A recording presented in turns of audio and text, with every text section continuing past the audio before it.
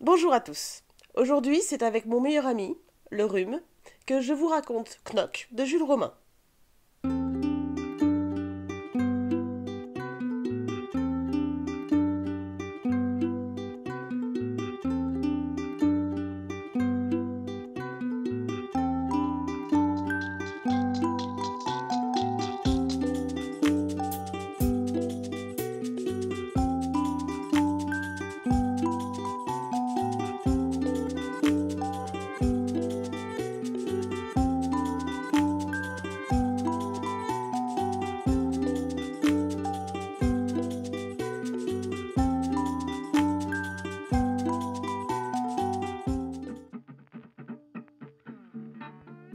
Le docteur Parpalais et sa femme sont venus chercher Knock à la gare en voiture, accompagnés de leur chauffeur, Jean.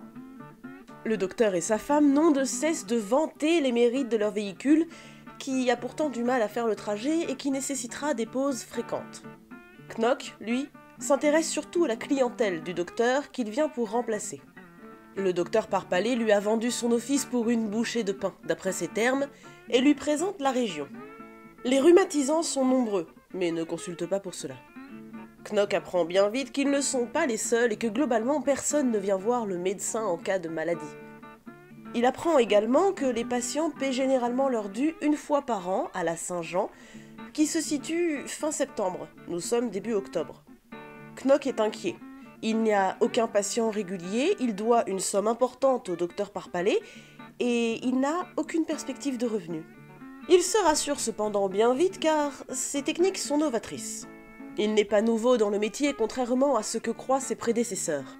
Bien qu'il n'ait passé effectivement sa thèse que l'année précédente, il a cependant exercé 20 ans sur un bateau qui, par miracle, ne réclamait pas le titre de docteur lors de l'embauche. À ce moment-là, ses connaissances en la matière se limitaient pourtant à la lecture de modes d'emploi et de correspondance médicale. Pourtant, aucun mort n'a été à déplorer pendant qu'il exerçait sur un total de 35 passagers et alors qu'ils ont tous été malades. Les parpalais sont curieux des méthodes de Knock, mais celui-ci refuse de les divulguer ainsi. Il propose à Parpalais de le prendre en stage plutôt que de lui payer son office. Celui-ci refuse. Après quelques informations supplémentaires sur la région et ses habitants, Knock demande à ce que la voiture qui s'était arrêtée reparte. Il a hâte d'arriver car il est convaincu que les parpalais ont dormi sur un tas d'or qu'il ne tient qu'à lui de révéler. Ils repartent, Jean poussant la voiture pour la faire démarrer.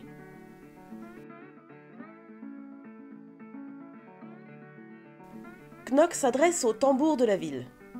Il lui demande le ressenti général par rapport au docteur Parpalais, guerre estimée, puis lui demande de faire passer le mot qu'il donne tous les lundis matins 3 heures de consultation gratuite aux habitants du canton. Le tambour est agréablement surpris de la philanthropie de Knock, mais s'inquiète. Nous sommes lundi et jour de marché, la foule va affluer. Avant de partir faire son tour, cependant, il demande à Knock s'il est possible pour lui de lui faire bénéficier de sa consultation. Knock l'ausculte donc. Le tambour se plaint de chatouille, ou plutôt de gratouille, ou les deux. De question en question, mais sans rien lui dire de son état, Knock finit par conseiller au tambour de rentrer chez lui salité dès sa tournée terminée. Il viendra le visiter régulièrement, gratuitement, mais le tambour n'en doit rien dire à personne. L'homme sort, inquiet. L'instituteur Bernard, avec qui Knock a rendez-vous, arrive. Knock souhaite l'entretenir au sujet de l'enseignement populaire de l'hygiène, entre autres choses. Il suppose que ces points étaient déjà traités avec le docteur Parpalais, mais ce n'est pas le cas. Knock flatte l'instituteur et rejette la faute de cette inconscience absolue sur le docteur Parpalais. Il lui suggère d'organiser des conférences, en commençant par exemple sur une portant sur la fièvre typhoïde, puis en enchaînant avec une autre sur les porteurs de germes, le tout avec des illustrations en couleur pour informer les gens. Mais l'instituteur Bernard, impressionnable, n'est pas tout à fait convaincu, craignant lui-même la maladie. Knock l'expédie pour accueillir son rendez-vous suivant, le pharmacien Mousquet. Flatteur, Knock complimente la pharmacie de son hôte qui déplore pourtant de ne pas faire autant de bénéfices qu'il pourrait l'escompter. Sans surprise, le docteur Parpalais ne lui envoyait guère de clientèle. Knock rassure le pharmacien. Tous les habitants du canton sont désormais leur clientèle désignée. Il ne s'agit plus de gens tombant malades, mais de gens chez qui Knock trouvera la maladie. Il lui promet la richesse d'ici un an. Les premiers consultants, une douzaine, sont arrivés et Knock fait entrer la dame en noir. Elle lui décrit sa situation, propriétaire terrienne, puis Knock la plaint, compréhensif, avant de lui poser des questions, puis de lui inventer un souvenir d'une chute d'échelle qu'elle aurait fait et qui lui aurait laissé des séquelles. Il la prévient que se soigner sera long et coûteux, environ 3000 francs, mais parvient, grâce à un dessin de sa colonne vertébrale, à la convaincre qu'il est absolument indispensable de se soigner. Il lui propose, plutôt que de s'engager tout de suite dans les soins, de s'aliter d'abord une semaine environ pour voir l'évolution du mal, le tout en évitant si possible de manger plus d'un biscuit par jour. Si elle se sent mieux dans une semaine, alors les soins ne seront pas nécessaires, mais si elle s'est affaiblie, alors il faudra agir. Elle sort. La dame en violet entre. Elle est Dame Ponce, née Mademoiselle Lampoumas, et raconte sa vie au docteur qu'elle imagine absolument stupéfait de sa présence. Elle, une dame noble et riche, n'aurait jamais pensé de sa vie venir à une consultation gratuite. Mais elle s'est dit que cela aiderait l'entreprise du jeune docteur, qu'elle trouve ambitieuse et noble. Elle se plaint d'insomnie et demande son avis à Knock. Knock propose plusieurs pistes possibles, toutes plus horribles les unes que les autres. La dame en violet s'effondre, espérant qu'un remède existe, mais heureusement, c'est le cas. Knock lui demande de s'aliter et lui promet qu'il viendra la voir tous les jours. Il lui fait une ordonnance, puis elle sort. Dans la salle d'attente, deux gars refusent de passer l'un sans l'autre. Knock finit par les faire entrer tous les deux et ausculte le premier très froidement. Les deux gars qui ricanaient en entrant perdent peu à peu contenance. Knock montre au premier les organes illustrés d'un alcoolique au stade avancé.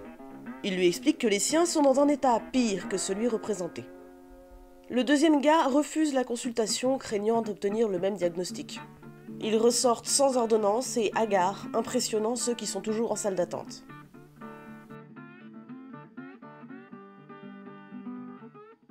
La scène prend place dans un hôtel qui commence à avoir des allures d'hôpital. Madame Rémy, propriétaire des lieux, s'occupe avec Scipion de l'organisation du moment. Il lui annonce la présence du docteur Parpalais, mais il n'y a aucune chambre disponible pour lui. Ne souhaitant pas lui annoncer ça, Scipion part pour s'occuper des différents patients présents dans les chambres de l'hôtel, et Madame Rémy file à son tour lorsque le docteur Parpalais arrive. Le docteur est accueilli par la bonne, qui ne le reconnaît pas. Elle ne savait pas qu'il y avait eu un docteur avant Knock et le laisse pour aller stériliser ses thés d'oreiller. Madame Rémy accueille enfin le docteur et lui annonce qu'il n'y a pas de place pour lui, toutes les chambres étant prises par des malades. Elle lui explique que des gens de passage ayant entendu parler de la présence de Knock dans la région sont venus consulter et que depuis il loge à l'hôtel pour recevoir des soins. La situation a désormais évolué puisque les gens viennent expressément de loin pour consulter. La place manque et Madame Rémy va donc faire construire. Elle admet fort bien que le docteur Parpalais ait du mal à concevoir la situation, lui-même n'étant pas tellement porté sur la guérison des malades, mais fait l'apologie de Knock. Sa générosité n'a d'égal que ses compétences. Il ne fait jamais payer les miséreux et ne refuse jamais une consultation. Madame Rémy accepte finalement de trouver une place au docteur Parpalais et prend sa valise.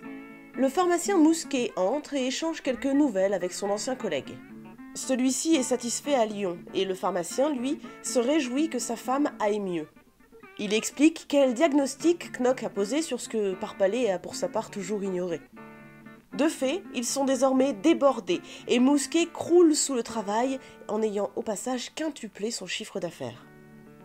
Knock vient saluer le docteur Parpalais. Mousquet quitte la pièce. Knock et Parpalais causent de la patientèle présente sur place et de sa récente et considérable augmentation. Knock lui présente les chiffres qu'il a compulsés et qui attestent effectivement de l'augmentation des consultations et des malades. Il explique avoir quatre échelles de traitement réparties selon les revenus moyens des familles du canton. Il adapte les frais et les malades aux capacités financières des foyers. Lorsque Parpalais envisage de remettre en cause les méthodes de Knock, celui-ci soutient et affirme n'être motivé que par l'amour de la médecine. Il se réjouit de savoir le canton animé par sa science, imprégné de ses soins. Il convainc tellement bien le docteur Parpalais que celui-ci finit par lui proposer d'échanger leur place. Peu crédule, Knock admire les capacités de commerçant de Parpalais qui sait voir une bonne affaire. Mousquet, qui passe, est pris à partie pour donner son avis sur cette proposition. Le pharmacien est plus que réfractaire et annonce à l'ancien docteur que personne ne sera ravi de lui souhaiter la bienvenue lorsqu'il reviendra, et il va d'ailleurs lui en donner la preuve. Il arrête Madame Rémy, qui passe, et lui annonce le départ de Knock et le retour de Parpalais. Elle refuse absolument et annonce au docteur en visite qu'aucune chambre ne peut l'accueillir. Parpalais, très vexé, demande à Knock qu'il règle leur compte sur le champ afin qu'ils puissent repartir le soir même. Knock apaise la situation, mais Madame Rémy, elle, ne se calme que très peu.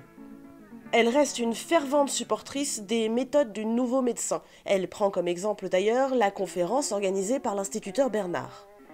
Elle refuse toujours de trouver une chambre pour parpaler jusqu'à ce que Knock lui laisse entendre qu'il s'agisse d'un malade. Or, pour un malade, elle est prête à faire un effort et à trouver un lit. Parpalais s'offusque de l'attitude de Knock, mais se réjouit tout de même de pouvoir coucher sur place. Il a presque été convaincu qu'il avait à s'inquiéter de sa santé à la façon dont Knock l'a regardé. Celui-ci se confesse. Il porte un fardeau, il peine à regarder les gens sans voir la maladie qui couche chez eux, il ne parvient plus à regarder quelqu'un sans poser un diagnostic.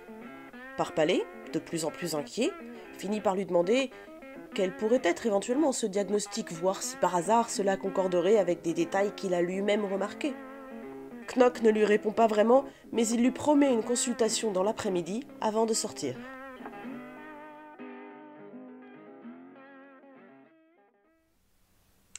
Merci à tous d'avoir regardé cette vidéo, j'espère qu'elle vous aura plu. Si c'est le cas, n'hésitez pas à nous le faire savoir avec un commentaire, avec un petit pouce bleu ou avec un abonnement si ça n'est pas encore fait. Et quant à moi, je vous dis à très bientôt pour une prochaine vidéo.